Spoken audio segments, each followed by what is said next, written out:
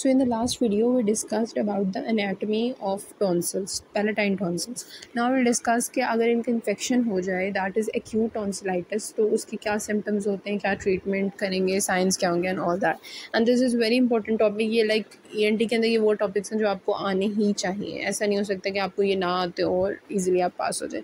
So it's important to know this topics ठीक?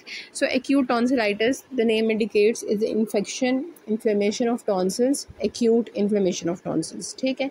ये basically infection है मोस्टली स्ट्रेप्टोकोकस हिमोलोटिकस ये कोज करा रहा होता है वे एज और भी इसके कोजेज़ हो सकते हैं।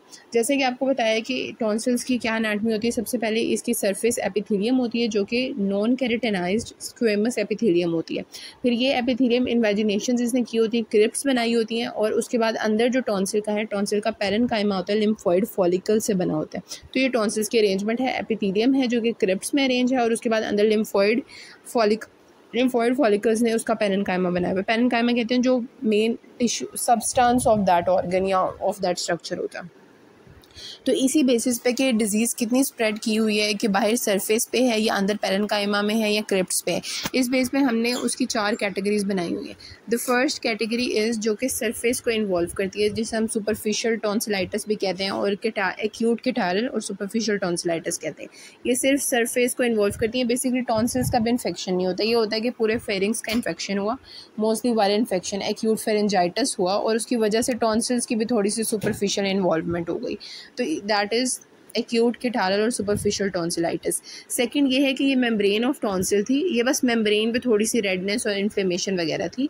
वो थोड़ा इन्फेक्शन स्प्रेड हुआ और ये क्रिप्स जो हैं हमारी टॉन्सिल्स की, ये फुल हो गई प्यूरुलेंट डिस्चार्ज से पस से, ये भर गई पस येलो स्पॉट आपको नज़र आएँगे। So this is acute follicular tonsillitis follicular क्यों इसे कहते हैं? क्योंकि इसके अंदर पस एक्यूमुलेट हुई होती है तो वो जो येलो वाइट स्पॉट्स होते हैं ना, वो आपको नज़र आ रहे होते हैं। जब बच्चे को कहते हैं, आप मुँह खोलो तो उसके टॉन्सिल्स बड़े हुए होते हैं और उन पर येलो स्पॉट्स होते हैं। तो येलो स्पॉट्स किस चीज़ के होते हैं कि वो जो क्रिप्स होती हैं जो हम क्रिप्स की बात करें, टॉन्सिल्स की, उन क्रिप्स के अंदर प्यूरलेंट डिस्चार्ज जो है, वो मटेरियल सारा एक्यूमुलेट हो जाता है। So that is acute follicular tonsillitis फिर एक्यूट फॉलिकुलर टॉन्सिलाइटिस की एक फर्दर कह लो एक्सटेंशन है कि वो क्या हो सकता है कि ये हमारे पास क्रिप्स है ना तो ये क्रिप्स पूरी भरी हुई हैं उसके प्यूरलेंट और एक्जुडेट से और वो सब कुछ इकट्ठा होकर वो एक पूरी एक मेम्ब्रेन इसके ऊपर बना देता है, ठीक है?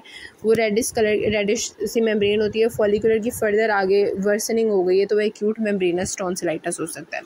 सो so, ये हमारे पास तीन टाइप्स होगी और आखिरी जो टाइप है दैट इज़ पेरेंकमाइटिस टॉन्सिलाइटिस ये नेम इंडिकेट होता है कि जो टॉन्सिल का सब्सटेंस है जो उसके लिम्फोइड फॉलिकल्स हैं उसके अंदर जाके पास और इन्फेक्शन चला गया।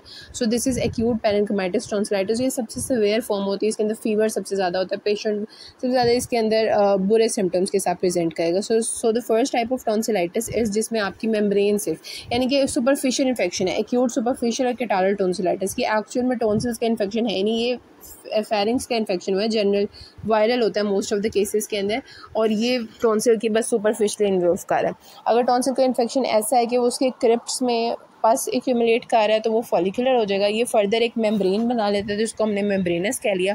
और अगर पूरी सरफेस से निकल के वो अंदर पेरन कायमा लिम्फोइड फॉलिकल्स को इन्वॉल्व करे that is acute parenchymatous tonsillitis in this situation the tonsils are uniformly and large and red ठीक है? अभी आप डायग्राम देखें नाम आप यहाँ से सोचेंगे कौन सी टाइप हो सकती है। This is acute follicular tonsillitis because इसके अंदर पास एक्यूमुलेट हुई हुई है क्रिप्स के अंदर। वो हमें देखने में इस तरह का लगता है। पेशेंट को आप कहते हैं, मुँह खोलो तो पहले तो ये होता है ना, ये एंटीरियर पिलर है और वो देखें, ये पोस्टीरियर पिलर है।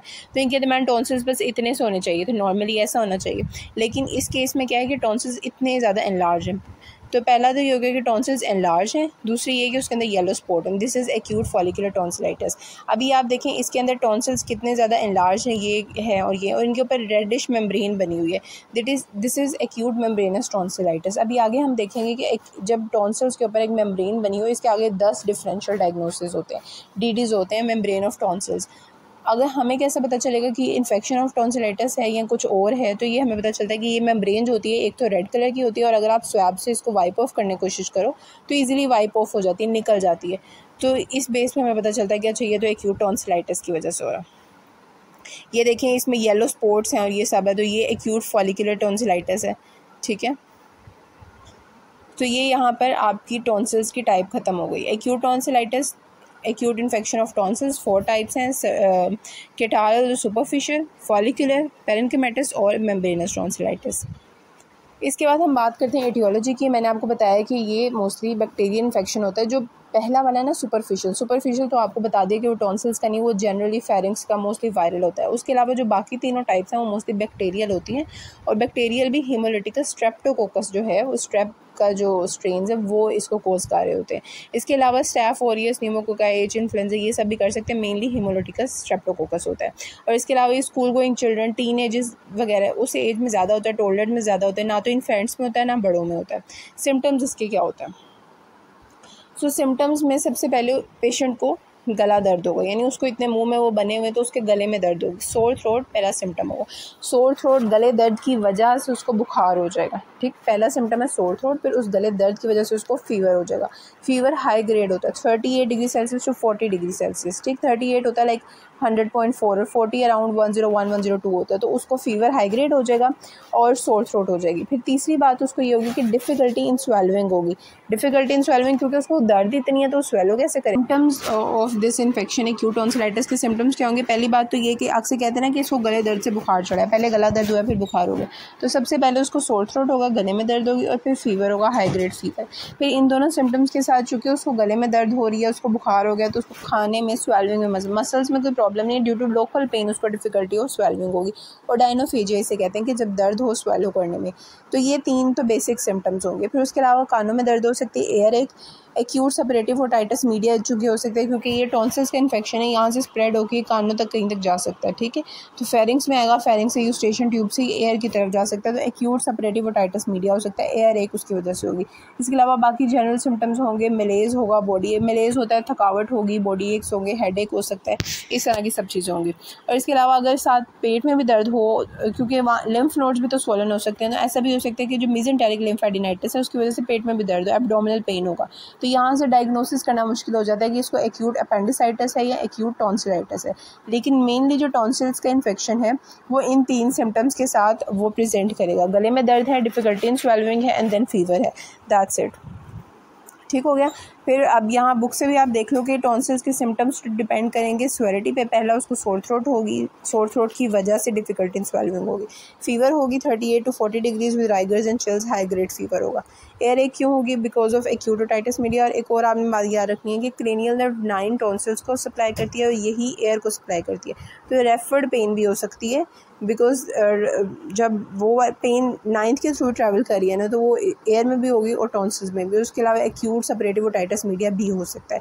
और फिर कॉन्स्टिट्यूशन सिम्टम्स के अंदर मलेज बॉडी एक्स थकावट हिला नहीं जा रहा है इस तरह के सिम्टम्स होते हैं। और अगर एबडोमिनल पेन भी हो तो वो क्यों होती है? मिजोटेरिक लिम्फेडिनाइटिस की वजह से होगी और वो एक्यूट अपेंडिसाइटिस की पिक्चर को सिमुलेट कर सकती है। तो this is about the symptoms of tonsillitis now coming toward the sign अब एक पेशेंट आया आ, उसने कहा मोस्टली वो एक स्कूल को एक बच्चा होगा अपनी उसकी मदर होगी साथ। तो वो कहेगी कि इसके गले में दर्द है खाया नहीं जा रहा बिकॉज़ इतनी ज़्यादा दर्द है हाई ग्रेड फीवर है कानों में है राइगर चिल्स काम काम कर बुखार चढ़ता है, थकावट है, ये सारे सिम्टम्स वो प्रेजेंट करेंगे। फिर आप उसकी क्या करेंगे? एग्जामिनेशन एग्जामिनेशन करेंगे तो पहली बात तो ये कि आपको फील होगा कि उसकी ब्रेथ थोड़ी स्मेल स्मेल बैड ब्रेथ है, उसको ब्रेथ ब्रेथ इज़ फिटेड और दूसरे नंबर पे अगर आप उसे कहेंगे, आप मुँह खोलो मुँह खोलो तो ब्रेथ उसकी बैड होगी और टंग उसकी काफ़ी कंजस्टेड सी आपको फील हो रहा होगा कि पीछे टॉन्सल्स बड़े हुए हैं और टंग उसकी कंजस्टेड है स्वॉलन है। जो पिलर्स हैं, उनका भी हाइपरीमिया हुआ हो। इर्द गिर्द इन्फ्लेमेशन है, इर्द गिर्द के सारे स्ट्रक्चर्स का हाइपरीमिया और हाइपरीमिया का मतलब होता है कि वहाँ ब्लड वेसल्स डायलेट हुई हैं सब कुछ ना। तो होगा टॉन्सिल जो है, वो खुद रेड होंगे। अगर तो टॉन्सिल्स में येलो स्पॉट आपको नज़र आ रहे हैं तो ये एक्यूट फॉलिकुलर टॉन्सिलाइटिस होगा। ऐसा भी हो सकता है कि टॉन्सिल्स की मीडियल सर्फेस पे पूरी मेम्ब्रेन बनी हो, जो कि एक्यूट मेम्ब्रेनस टॉन्सिलाइटिस होगा। लेकिन ये वाली मेम्ब्रेन ईजिली वाइप हो वाइप ऑफ़ हो सकती है। स्वैब से। आगे हम पढ़ेंगे डिफ्थेरिया वगैरह की मेम्ब्रेन वाइप ऑफ़ नहीं हो सकती। फिर उसके अलावा जो टॉन्सिल्स हैं, वो काफ़ी इनलार्ज होंगे। ऐसे हो सकता है कि इतने ज़्यादा इनलार्ज हो कि दोनों टॉन्सिल्स मिड लाइन में मीट करें। इसे आप एक्यूट पेनकमाइटिस टॉन्सिलाइटिस भी कहते हैं। मैंने कहा था सबसे सवेयर टाइप होती है। इन्हें किसिंग टॉन्सिल्स भी कहते हैं। और आखिर में नोड्स को जब चेक करेंगे तो जुगलो डाइगेस्ट्रिक नोड जो हैं, वो एनलार्ज होंगे टेंडर होंगे। एनलार्ज क्यों होंगे? और टेंडर और ये आपने हमारी याद रखनी कि जो एक्यूट इन्फेक्शन है, उसके अंदर जो नोड्स होते हैं, वो टेंडर होते हैं। Whereas in chronic they are non tender tender का मतलब होता है उनको हाथ लगाएँगे तो दर्द होगा।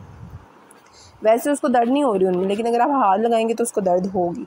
और एनलार्ज तो ऑब्वियसली होंगे बिकॉज़ इट्स एन इन्फेक्शन तो सिलाइटस की फोर टाइप्स आपको बताई सुपरफिशियल और केटारल टॉन्सिलाइटिस मेम्ब्रेनस और फिर follicular and then finally parenchymatous फिर इसका जो कोज है हिमोलिटिकल स्ट्रेप्टोकोकस है और ये स्कूल गोइंग बच्चों में होता है। प्रेजेंट कैसे करेंगे? कहेगा, गले में दर्द है, साथ काम काम कर बुखार चढ़ता है। उसकी मदर आपको ये बताएँगे कि इसके गले में दर्द है, इसको काम काम कर बुखार चढ़ता है। इतनी दर्द है कि खाया भी नहीं जा रहा। और साथ कानों में भी दर्द होगी उसको क्यों होगी? बिकॉज़ रेफर्ड पेन भी हो सकती है या कानों में अगर चेक करें तो शायद उसको एक्यूट सपरेटिव ओटाइटिस मीडिया भी हो सकता है। तो ये दोनों चीज़ें आपने देखनी है। फिर और एबडोमिनल पेन भी हो सकती है। तो ये सब सिम्टम्स आपने देखे, फिर आपने एग्जामिनेशन की। तो जो एग्जामिनेशन पर चीज़ें आप देखेंगे, उन्हें हम साइंस कहते हैं। तो पहली बात ये आप बच्चे को कहेंगे, अपना मुँह खोलो, मुँह खोलेगा तो उसकी ब्रेथ बैड होगी। फिटेड होगी और टंग कंजेस्टेड सी होगी, फंसी और रेड स्वॉलन ऐसे होगी। फिर जो सारे टॉन्सल्स के इर्द गिर्द के स्ट्रक्चर्स हैं, उनका हाइपरीमिया हुआ होगा पिलर्स सॉफ्ट सॉफ्ट पैलेट और इन सब चीज़ों का हाइपरीमिया हुआ होगा। अगर हम टॉन्सल्स की बात करेंगे तो रेड स्वॉलन होंगे एनलार्ज होंगे। ये तो सब में कॉमन होगा। अगर तो उसमें येलो स्पॉट होंगे तो आप कह दोगे कि ये फॉलिकुलर टॉन्सिलाइटिस है। अगर उनके ऊपर एक मेम्ब्रेन बनी होगी तो मेम्ब्रेनस टॉन्सिलाइटिस है। और अगर वो इतने लार्ज हैं कि दोनों साइड के टॉन्सिल आपस में एक दूसरे को एटलीस्ट मीट करें तो वो पेन एंड कमेटस टॉन्सिलाइटिस है। और इसके अलावा नोट्स तो एग्जामिन लाजमी करने होते हैं हर डिज़ीज़ के अंदर। तो ये एक्यूट इन्फेक्शन है तो ये आप नोट्स देखेंगे तो जुगलो डायगेस्टिक नोट्स जो होते हैं वो एनलार्ज होंगे और साथ टेंडर होंगे, यानी उसको हाथ लगाने पे दर्द होगी और बड़े तो होंगे, वो नज़र भी आ रहे होंगे। नज़र ना भी आ रहे हो तो शायद फील करने पर वो एनलार्ज फील हो आपको। अब ये हमने डायग्नोस कर लिया। इसमें कोई टेस्ट कर वगैरह कराने की ज़रूरत नहीं। सिम्टम्स और साइंस पे हमने उसका डायग्नोसिस कर लिया एक्यूट टॉन्सिलाइटिस अब ट्रीटमेंट क्या करेंगे? ट्रीटमेंट यही करेंगे कि पेशेंट को आप कहेंगे रेस्ट करो फ्लूड्स इनटेक वगैरह अपना ज़्यादा करे वो, ठीक है? क्योंकि वो खाना नहीं खा पा रहा ना उसको डायनोफेजिया और दर्द हो रही है डिफ़िकल्टी इन स्वेलविंग है। तो आप पेशेंट को रेस्ट कराएँगे और उसे आप इनक्रेज करोगे कि वो प्लेंटी ऑफ़ फ्लूड्स ले। फ्लूड्स तो वो स्वेल कर ही लेगा ना, उसको सॉलिड्स में मसला हो रहा है। फिर उसके अलावा एनर्जेसिक सिम्टोमेटिक ट्रीटमेंट करेंगे, उसको एनर्जेसिक एस्पिरिन और पैरासीटामोल अकॉर्डिंग टू वेट देंगे और उससे वो करेंगे और फाइनली उसकी प्रॉपर ट्रीटमेंट क्या है एंटीबैक्टीरियल थेरेपी एंटीबैक्टीरियल थेरेपी में जो ड्रग ऑफ़ चॉइस है, ये स्ट्रेप्टोकोकस का इन्फेक्शन है तो स्ट्रेप्टोकोकस के लिए ड्रग ऑफ़ चॉइस पेनिसिलिन होते हैं। पेनिसिलिन के अंदर भी amoxicillin plus clavulanic acid beta lactamase inhibitors हमने देने होते हैं। तो amoxicillin plus clavulanic acid this is the drug of choice और अगर वो एलर्जिक टू पेनिसिलिन है तो हम एरिथ्रोमाइसिन दे देंगे। एरिथ्रोमाइसिन क्या होता है? वो एक मैक्रोलाइड होती है और ये सात से दस दिन तक आपने कंटिन्यू करना है। यहाँ से भी आप देख लें बुक पे क्या उसने लिखा है कि आप उसको पुट टू बेड करें फ्लूड्स दें एनर्जेसिक्स दें और एंटीबैक्टीरियल थेरेपी दें एमोक्सीसिलिन प्लस क्लेवलिनिक एसिड और अगर वो एलर्जिक है then erythromycin and seven to ten days के लिए दें, वो ठीक हो जाएगा। So this is acute tonsillitis आपको पेपर में क्वेश्चन आ सकता है कि एक पेशेंट है सोर थ्रोट फीवर के साथ प्रेजेंट किया है एग्जामिनेशन की है तो दो टॉन्सिल्स एंड लार्ज हैं तो बताएँ क्या है? तो दिस इज़ इतने लार्ज हैं कि बीच में मिड लाइन में मीट करें। So this is acute parenchymatous tonsillitis अगर येलो स्पॉट्स होते फॉलिकुलर था फिर आगे उसने पूछा हुआ कि आप बताएँ कि इसकी मैनेजमेंट कैसे करेंगे? तो मैनेजमेंट में आप हिस्ट्री भी लिखेंगे हिस्ट्री में सारे पॉइंट लिख देंगे एग्जामिनेशन का लिखेंगे, कि ब्रेथ फिटेड है टंग एडजस्टेड है एनर्जेटिक्स देंगे एंटीबैक्टीरियल थेरेपी दे देंगे। और बस ये तो लेकिन आमतौर पर इतना ईजी सवाल नहीं आता। क्वेश्चन ये आता है कि कॉम्प्लिकेशन क्या होंगी? या ये क्वेश्चन आ सकता है कि D of membrane over tonsil क्या होंगे? तो वो क्वेश्चन आ सकता है, ठीक है? सो कॉम्प्लिकेशन इंपॉर्टेंट हैं पेपर के हिसाब से आपको ज़रूर आनी चाहिए। कॉम्प्लिकेशन क्या है? सबसे पहले तो क्रॉनिक टॉन्सिलाइटिस हो सकता है। एक ऐसा बच्चा जो रिकरेंट उसको अटैक्स होते हैं बार बार यहाँ से देखते हैं रिकरेंट उसको अटैक्स हो रहे हैं, अक्सर उसका गला ख़राब रहता है, उसको बुखार रहता है, इस तरह की सिचुएशन है। तो ऐसा हो सकता है कि जो पेरन कायमा है लिम्फोइड फॉलिकल्स है ना, उनके अंदर पस एक्यूमुलेट हो गई है और उन्होंने माइक्रो एब्सेसिस बना लिया यानी ठीक है लिम्फोइड फॉलिकल्स होते हैं ना लिम्फोसाइड्स और वो सब तो उनके अंदर पास एक्यूमुलेट हो गई और वहाँ पर उन्होंने अपने आप को वॉल ऑफ़ कर लिया उस एरिया को पूरी एक वॉल बना ली तो एक माइक्रो एब्सेसिस पूरे टॉन्सिल्स के अंदर उसके पेरन कायमा में बनना शुरू हो गए इसको आप क्या कहते हैं क्रॉनिक टॉन्सिलाइटिस कहते हैं। तो उस पेशेंट को क्रॉनिक टोन्सलाइटस हो सकता है। फिर बाकी उसके अंदर एब्सेस बन सकती हैं। एब्सेस तीन जगहों पर बन सकती हैं, ये आपने याद रखना है। पेरीटॉन्सिलर एब्सेस क्विंजी से कहते हैं। Parapharyngeal abscess and cervical abscess. Cervical abscess कैसे है कि वो नोट्स तक जाएगा, वहाँ से जुगलो डायगेस्टिक नोट से फर्दर आगे ये, उस तरफ़ जाएगा, ठीक है? स्ट्रेप्टोकोकस का इन्फेक्शन है तो आपने पढ़ा होगा पिछले साल कि स्ट्रेप्टोकोकस क्या क्या कोज करा सकता है, वो रोमेटिक फीवर कोज यानी हार्ट इन्वॉल्व हो सकता है तो रोमेटिक फीवर कोज कराएगा। अगर किसी किसी पेशेंट को ऑलरेडी एंडोकार्डाइटिस है तो उसको सब एक्यूट बैक्टीरिया एंडोकार्डाइटिस वो मजीद उसका एग्रेवेट कर सकता है। अगर किसी को वेलवुलर हार्ट डिज़ीज़ है, कोई भी इस तरह का मसला है हार्ट में ऑलरेडी प्रॉब्लम है तो उसको एंडोकार्डाइटिस कोज करा सकता है फाइनली किडनी के अंदर एक्यूट ग्लोमेलो नेफ्राइटस भी करा सकता है। So seven to eight complication हैं जो आपको पक्की याद होनी चाहिए बिकॉज़ एक्यूट टॉन्सिलाइटिस में जो पूछेंगे तो कॉम्प्लिकेशन और उसके डी वगैरह ज़्यादा इंपॉर्टेंट है पेपर के हिसाब से। तो पहली पहली आपने बात बता देनी है कि क्रॉनिक टॉन्सिलाइटिस हो जाएगा। दैन फिर वन फिर तीन एब्सेसेस होंगी cervical abscess parapharyngeal abscess and peritonsillar abscess फिर स्ट्रेप के रिलेटेड आपने चीज़ें बताना शुरू कर देंगे। स्ट्रेप एक्यूट गोमेलोनेफ्राइटिस करा सकता है। Acute sub acute bacterial endocarditis and rheumatic fever ये करा सकता है। फिर एक कानों का है एक्यूटोटाइटिस मीडिया तो इस तरह से आप याद रखेंगे तो आपको याद रहेगा। क्रॉनिक टॉन्सिलाइटिस और एक एयर का है एक्यूटोटाइटिस मीडिया फिर तीन स्ट्रेप वाले हैं। स्ट्रेप वाले कौन कौन से? Rheumatic fever sub acute bacteria endocarditis and acute glomerulonephritis और तीन एब्सेस सर्वाइकल पैराफ्रेंजियल और पेरिटोन्सिलर एब्सेस यहाँ बुक से भी आप देख लें। बुक का ये है page first one is chronic tonsillitis peritonsillar abscess parapharyngeal cervical abscess फिर एक्यूटोटाइटिस मीडिया ये स्टेप वाले गए रोमैटिक फीवर एक्यूट गोमेलोनेफ्राइटिस इन सब एक्यूट बैक्टीरिया एंडोकार्डाइटिस तो ये हमारे पास यहाँ पे एक्यूट टॉन्सिलाइटिस कंप्लीट होता है और ये आगे जो क्वेश्चन आगे जो बात है वो डीडीज़ ऑफ़ मेम्ब्रेन वो टॉन्सिल यानी कि आपने एक बच्चे का मुँह खुलवाया, आपने देखा कि टॉन्सल्स बड़े हैं और उनके ऊपर एक मेम्ब्रेन बनी हुई है। तो उसके काफ़ी सारे डीडीज़ हैं, कोई दस डीडीज़ तो आपकी बुक में लिखे हुए